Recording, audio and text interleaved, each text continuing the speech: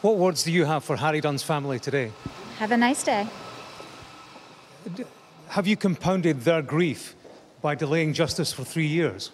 Anne Sacoolas had just been on a video link in America watching a court in London sentence her for the killing of 19 year old Harry Dunn.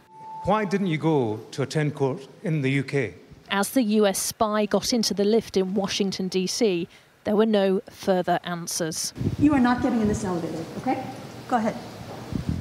There was little sign of the remorse she'd expressed in court for the crash that she caused three years ago outside the American intelligence base at RAF Croughton in Northamptonshire. The US government refused permission for Anne Sacoolas to travel to the Old Bailey for her sentencing like any other defendant. And the judge made it very clear that she could see no justifiable reason why Sacoolas wasn't here in person facing British justice. Please stand up, Mrs. Sacoolas. The sentencing was on camera. You are disqualified from driving for 12 months for the offence of causing the death of Harry Dunn by your careless driving. The sentence is eight months' imprisonment, suspended for 12 months. A statement was read out on behalf of Mrs. Sacoolas. It said, My tragic mistake led to the loss of Harry, and I live with this regret every single day.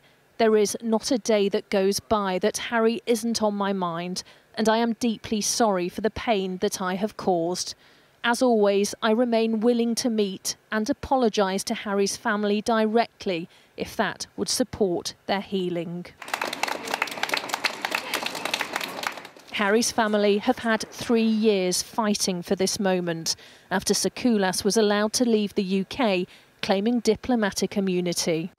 For me, the next best thing was to kiss that bruised lip of his and just let him know that I'll fight for justice. You know, that's the promise that I made to him, is that I promised I would get him justice. And that's what's kept me going. That's been my driver because I just couldn't get to him in time to tell him that I loved him. The prison sentence may be suspended, but Harry's family feel justice has been served. Harry, we done it. And we're good. We're good. The woman who killed their son walks away three years later but living with what happened for the rest of her life. Lisa Dowd, Sky News, the Old Bailey.